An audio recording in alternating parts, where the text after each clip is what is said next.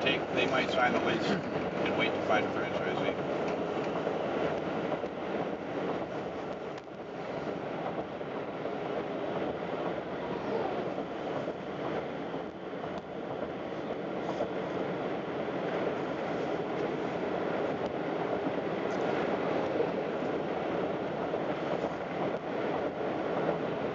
Hmm, that doesn't surprise me. I think, didn't you tell me they just broke ground on it?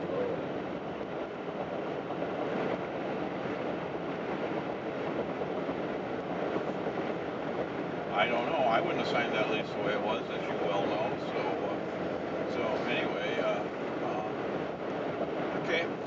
Yeah. Yep. Yep. Call me tomorrow. Hi, dear. Hi, Steve.